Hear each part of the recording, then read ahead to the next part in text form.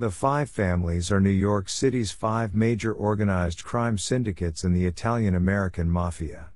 Their structure dates to 1931, when a Sicilian mob figure named Salvatore Maranzano formally organized warring factions of Italian American criminals into five family groups with demarcated territories and a hierarchical structure.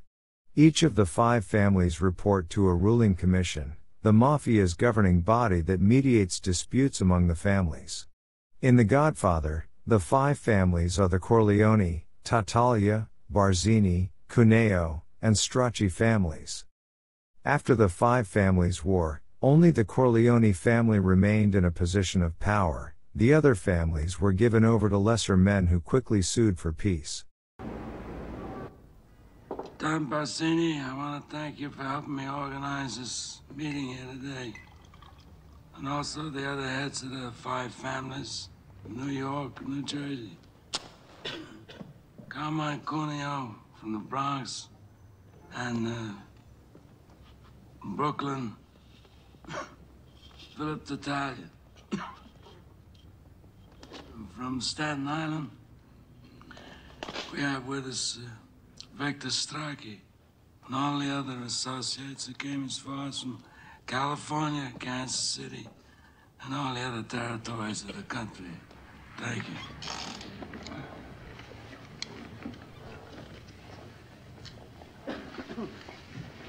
How did things ever get so far? I don't know. Was so unfortunate, so unnecessary. Tattaglia lost a son. I lost a son. We're quits. And if Tattaglia agrees, then I'm willing to let things go on the way they were before. We are all grateful to Don Corleone for calling this meeting. We all know him as a man of his word. A modest man. He'll always listen to reason. Yes, Don Barzini. He's too modest. He had all the judges and politicians in his pocket. He refused to share them. When, when did I ever refuse an accommodation? All of you know me here. When did I ever refuse? Except one time. And why? Because I believe this drug business is going to destroy us in the years to come.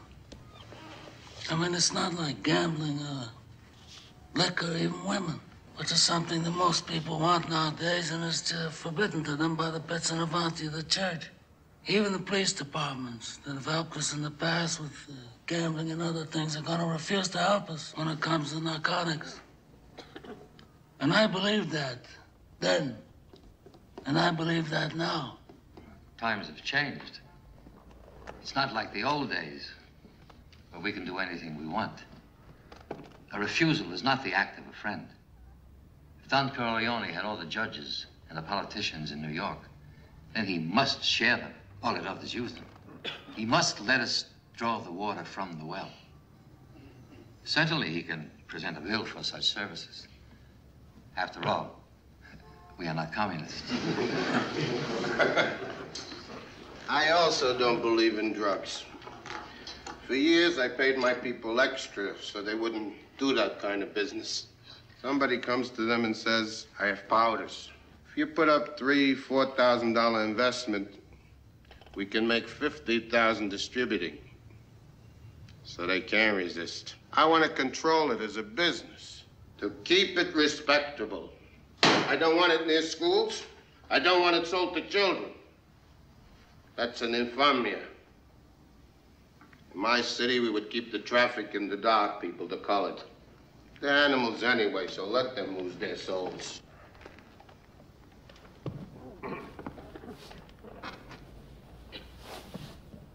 I hope that we could come here and reason together. And as a reasonable man, I'm willing to do whatever's necessary to find a peaceful solution to these problems. Then we are agreed.